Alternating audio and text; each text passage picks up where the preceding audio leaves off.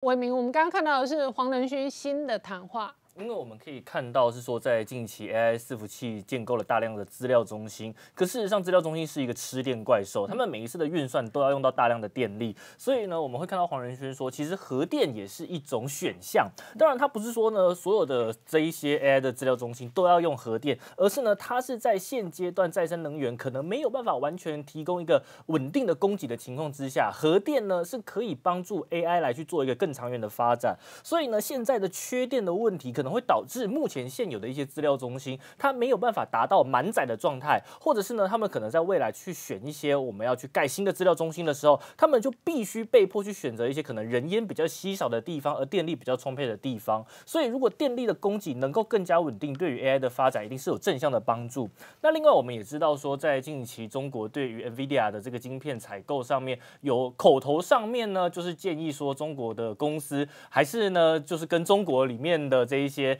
呃买中国晶片啦，那当然说黄仁勋不会放弃中国市场，这个我们以前也跟大家提过，原因是因为呢，中国目前占整个 NVIDIA 的营收贡献仍然高达十三 percent，而且在今年来讲的话，营收成长高达三十 percent，所以 NVIDIA 当然不会放弃中国这样的市场。我们也可以从过去它推出了 H 二十这样子的晶片来去发现说，NVIDIA 事实上还是尽可能的去满足中国这里的需求，但前提就是呢，要遵守美国政府的法规，所以只要在遵守美国政府的法规的前提之下，当然能够跟中国做生意。我想 Nvidia 还是不会去做放弃。那当然，我们要了解到 Nvidia 在全球目前整个显卡的地位的话，回顾过去二十年，在 GPU 的市场上面，Nvidia 基本上就是一枝独秀，它没有对手。虽然在最一开始的时候，AMD 可能还可以跟它较劲，但是呢，从这一个我们虚拟货币挖矿显卡的热潮过后，这个 GeForce RTX 三零。基本上显卡就已经吃掉了全球大概八成的市占率，从此之后再也没有任何的对手，AMD、Intel 都打不死它，而且到目前局面也没有被打破，所以这也是为什么中国市场呢，它不得不去依赖 NVIDIA 的其中一个原因。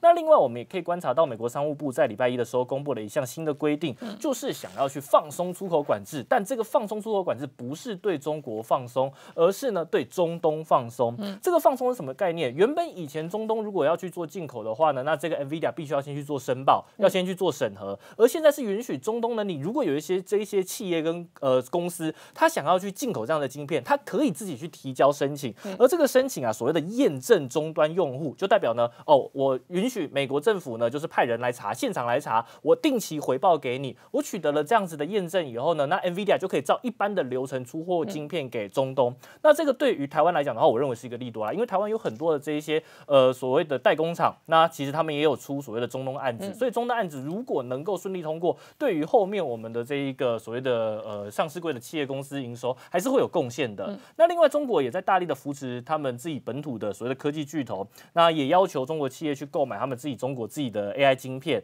但是呢，我们也提到了说，在这个晶片上面的强度仍然是有差的。而且中国政府他们这次推出来的政策不是禁止你去买 NVIDIA 晶片，而是口头上面建议你呢可以尽量跟我们中国国内的这一个 AI 晶片多买一点，就尽量多买一点。那我们也知道了，现在的这个 TikTok 母公司字节跳动，他们就是计划要采用华为的晶片。华为的晶片是升腾九一零 B，它的制程是七纳米，用中芯国际七纳米的制程。可是我们要知道 H 两百哦，在 H 两百我们还没到 Blackwell 哦，H 两百的话就是用台积电四纳米的制程。所以现阶段用升腾九一零 B 的这一个运算能力，大概只能去处理一些比较低难度的运算。要建构所谓的 AI 大模型，你终究还是只能用 NVIDIA 的晶片，这个是中国没有办法突破的。那因为中国也想要在半导体的制程上面去做突破，所以呢，呃，我们也知道说，中国政府花了非常的多的钱，九百六十三亿美元，大概是三点零五兆的台币，在呢发展国内的这个所谓的半导体供应链的自主化。可是要突破这个技术天花板太难了，因为呢，他们没有 EUV 机台，而在现在他们的这一个曝光机能做到六十五纳米，虽然比二零二二年的九十纳米已经还要来的更加进步，可是距离现阶段的 EUV 还是有非常大的差距，所以天花板摆在那边，我相信中国在距离整个追上半导体制程还有相当大的一段路，甚至在未来能不能追上都是一个问题。嗯，那我们还要观察到的是，苹果呢现在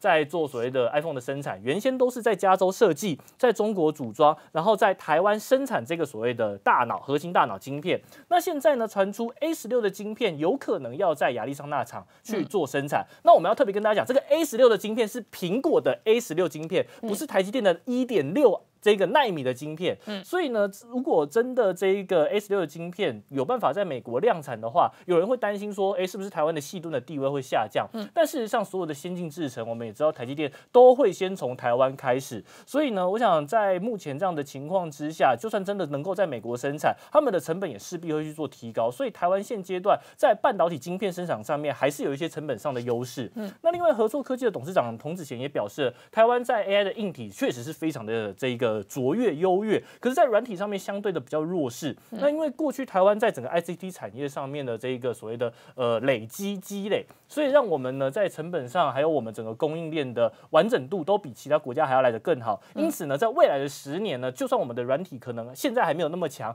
但至少呢，我们在硬体上面的优势还不会丧失。那我们还知道，在上礼拜也跟大家聊过了 Intel 的部分，Intel 在目前呢，虽然有考虑要把这一些赔钱的部分去做财务上面的改善，可是呢，呃，我们也知道，在年底现在传出八十五亿美元的这一个所谓的援助。这个直接的补助要来了，这个时候呢，他可能就会跟高通这边要去做所谓的合并呢，要先暂缓，因为一旦呢，他们真的要去讨论合并的时候，就有可能引发所谓的反垄断的这个调查，那这个时候补助呢就会先暂停下来。所以在现阶段要拿到这个补助的话，我想这个合并的问题或者是这个事件可能还要再往后延续。那么最后的话，我们还要看到的是呢，因为受惠于整个 AI 的科技浪潮，美光在上礼拜公布的这个财报相当的优越，不管是在 Net Flash 还是在这个所谓的低润上。面营收成长率都将近百分之百，那对于未来两年的 HBM 高频宽记忆体呢，也都已经销售一空，所以在整个 AI 的这个伺服器的浪潮啊，都还没有结束之下，我认为整个 AI 的产业、科技产业都会受惠于这样的浪潮而持续的成长。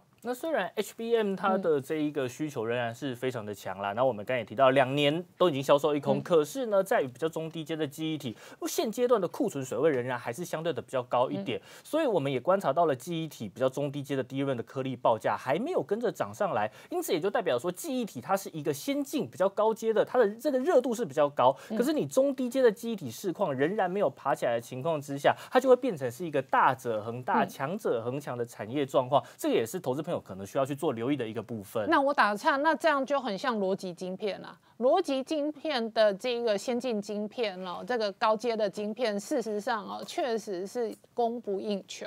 但是比较成熟制成的晶片，确实价格杀得很凶。对，因为现在先进制成的晶片基本上就是台积电能做，那所以呢，我们可以看到先进制成没有任何的所谓的这个供供过于求的问题。可是，在成熟制成的话，它就会有供过于求的问题，价格当然也会受到压力。这就是我们现在观察到的一个状况，也是大家可以去留意的一个部分。好，我是林官，我有全新的官方个人频道，叫做林官说说看，欢迎大家跟我一起来说说看，也欢迎大家订阅、分享，按下小铃铛。